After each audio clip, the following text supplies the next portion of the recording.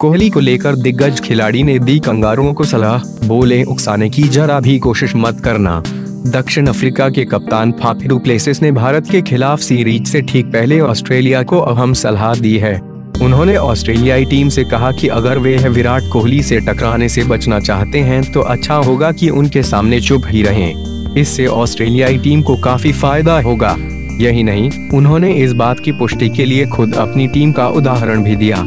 Du Plessis ने कहा कि उनकी टीम ने इस साल की शुरुआत में खेली गई सीरीज़ में कोहली का सामना चुपचाप ही किया था। उन्होंने कहा, अंतर्राष्ट्रीय क्रिकेट में ऐसे खिलाड़ी हैं जिन्हें टकराव पसंद है।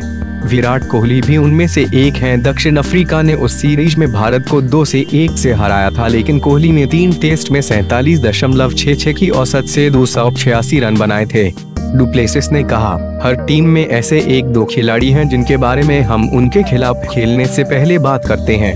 हमारी रणनीति उनके सामने खामोश रहने की ही होती है। उन्होंने कहा, कोहली शानदार खिलाड़ी है। हम उनके सामने चुप रहे, लेकिन उन्होंने फिर भी रन बनाए, लेकिन बहुत ज़्यादा नहीं।